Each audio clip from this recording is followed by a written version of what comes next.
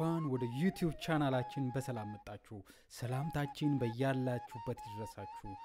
እንግዲህ ዛሬ የምነግራችሁ እውነተኛ ታሪክ ነው። ፀሐይን መቶ ጊዜ ዞረ ኢትዮጵያዊ እውነተኛ ታሪክ።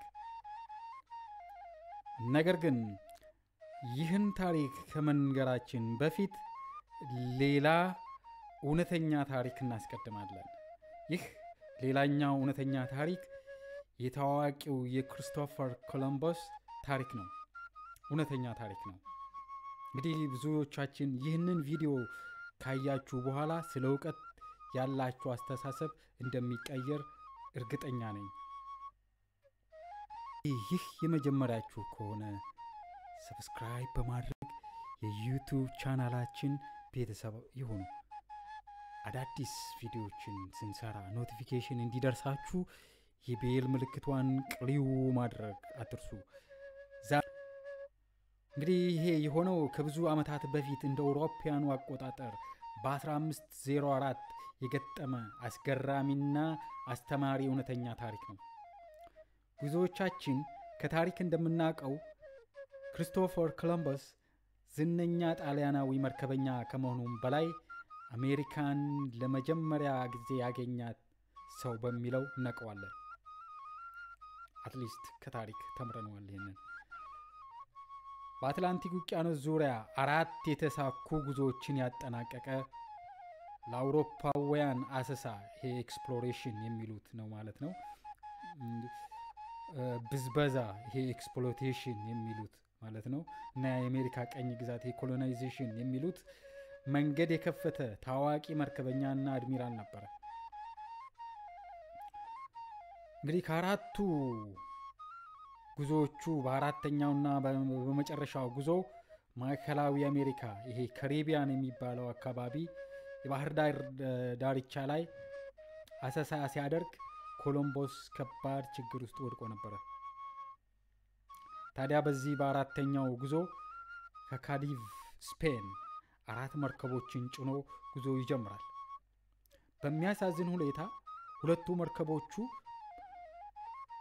በውቅያኖስ ላይ በእንጨት ትል ወረርሽኝ በመበላታቸው በስብሰው አላስኬድ በማለታቸው ተስፋ ቆርጦ ሁለቱን መርከብ ትቶ ሁለቱን ብቻ ይዞ በአሁኑ ጊዜ ጀማይካ ተብሎ በሚጠራው ደሴት ሰሜናዊ ጠረፍ ላይ ለማረፍ ተገዶ ነበረ። በወቅቱ በመጀመሪያ የሀገሬው ሕዝብ አራዋክ ኢንዲያንስ ነው የሚባሉት መርከበኞቹን ወይም እንግዶቹን በደስታና በጥሩ ሁኔታ ተቀብሎ የሚበሉት ቀለብና የሚያርፉበት መጠለያ ሰጣቸው። ነገር ግን ቀኖች ወደ ሳምንታት፣ ሳምንታት ወደ ወራት እየተቀየሩ በሄዱ ቁጥር ውጥረቶች መንገስ ጀመሩ። ከስድስት ወር ለሚበልጥ ጊዜ እዚህ ከቆዩ በኋላ ግማሽ የሚሆኑት እንግዶች የአለቆቻቸውን መመሪያ ወይም ትዕዛዝ አንቀበልም በማለት የአገሬውን ንብረት መዝረፍ፣ የአይኑ ቀለም ያላማራቸውን እንደፈለጉት መጠለዝና መግደል፣ እንደ ልባቸው መፈንጨት ጀመሩ። ከዚያም በላይ የአገሬው ሰው ከእንግዶቹ በሚሰጣቸው ብልጭልጭ ምትክ ቀለብ መስጠት ሰልችቶታል። በቆሎ፣ አሳ፣ ከዘባ የመሳሰሉትን ለእንግዶቹ ያቀርቡ ነበረ በብልጭልጮች ምትክ። ይባስ ብሎ ደግሞ በዛ ዓመት አዝመራው አልሰጥ ብሎ አገሬው ሰው የረሃብ ስጋት ተጋርጦበት ነበር። በመሆኑም የአገሬው ሰው ያመጣችሁትን አምጡ እንጂ ቀለብ አንሰጥም አሉ። በዚህ ጊዜ ኮሎምቦስ ደነገጠ። የረሃብ ስጋት የተጋረጠበት ኮሎምቦስ ተጨነቀ። መርከበኞቹ በረሃብ ሊያልቁበት ሆነ። ተስፋ አስቆራጭ ሁኔታ መፍትሄ ፍለጋ እንዲያወጣ፣ እንዲያወርድ፣ እንዲያስብ፣ እንዲያሰላስል ያለ የሌለ እውቀቱን ተጠቅሞ ውስብስብ እቅድ እንዲያቅድ አስገደደው። ከዛም አንድ ዘዴ ዘየደ።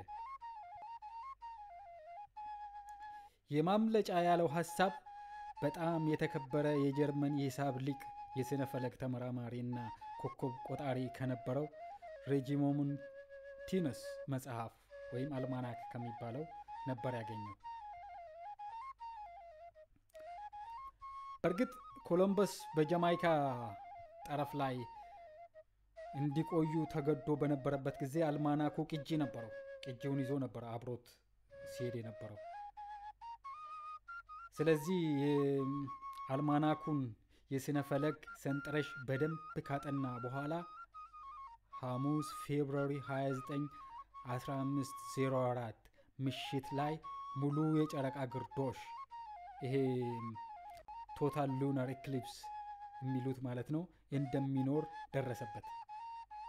ከዛም ኮሎምበስ ይህንን እውቀት ታጥቆ ግርዶሹ ከሶስት ቀናት በፊት ከግርዶሹ ከሶስት ቀናት በፊት ከአካባቢው ሰዎች የጎሳ መሪዎች ስብሰባ እንዲቀመጡ መልእክት ላከባቸው።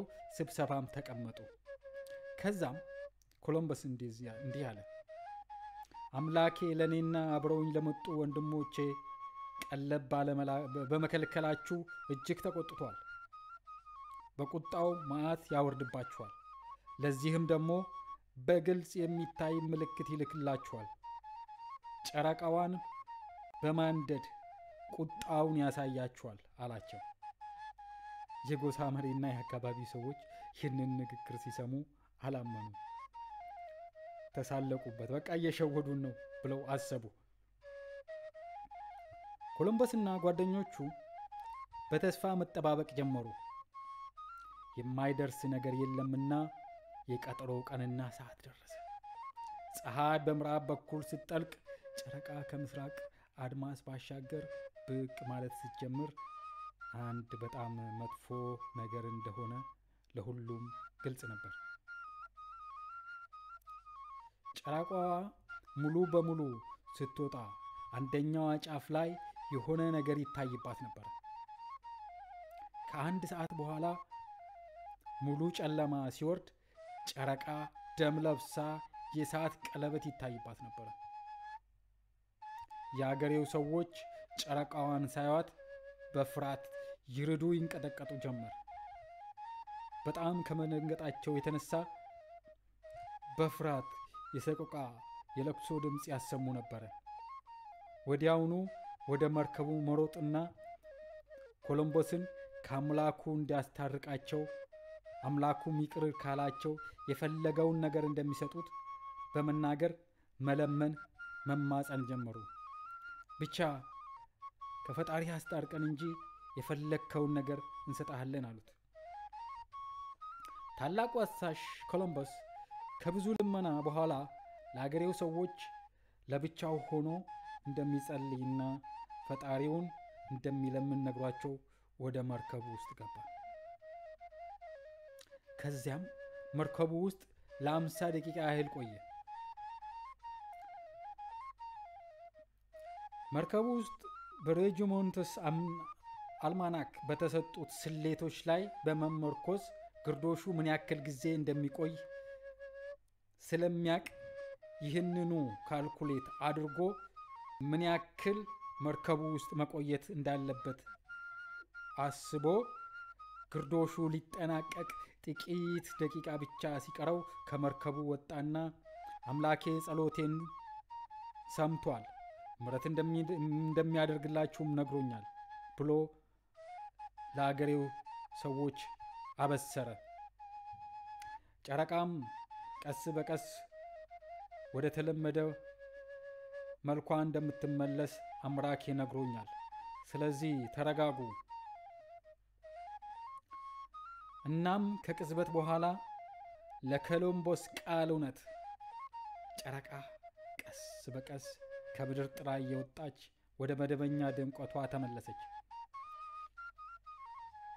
በምስጋና የተሞሉት አረዋኮች ከዛች ቅጽበት ጀምሮ ኮሎምቦስ እና አብረውት የነበሩ ሰዎች ከስፔን የነፍስ አድን መርከብ ሰኔ 29 ቀን 1504 እንግዲህ ከፌብሩዋሪ መጨረሻ እስከ ሰኔ መጨረሻ ማለት ነው። ድረስ የነፍስ አድኑ መርከብ ሞቶ እስኪወስዳቸው ድረስ የሀገሬው ሰው ምግብ እያቀረበ እየተንከባከበ አቆያቸው። እና ውድ አድማጮቼ ተመልካቾቼ ይህ ማለት እውቀት ማለት ምን ማለት እንደሆነ እውቀትን ለጥሩ ነገር ከተጠቀምንበት ችግሮች ሲገጥሙን እውቀትን በመጠቀም ለመፍትሄ መጣርን የሚያስተምር እውነተኛ ታሪክ ነው። how total lunar eclipse saved Christopher Columbus የሚል ነው። እንግሊዝኛውን version ማንበብ ከፈለጋችሁ እዚህ ቪዲዮ description ላይ link ኡን ተውላችኋለሁ ወይም ደግሞ how total lunar eclipse saved Christopher Columbus የሚል ጉግል አድርጋችሁ ማንበብ ትችላላችሁ። የኔ source እሱ ነው። የተለያዩ source ኦችን ማየት ሞክር ያለው የተለያየ version አለው። ነገር ግን ይህ ከሞላ ጎደል መልእክቱ ይህን ጨብጡ ይህንን ይመስላል። እና የእውቀት ምንነትን የሚያስረዳ እውነታ ነው። እንግዲህ ይህን ካልኳችሁ በኋላ መቶ ጊዜ ፀሐይን የዞረው ኢትዮጵያዊ ማን ነው እያላችሁ በጉጉት እንደጠበቀ እንደሆነ ይገባኛል። እንግዲህ አዲስ አመት ነው።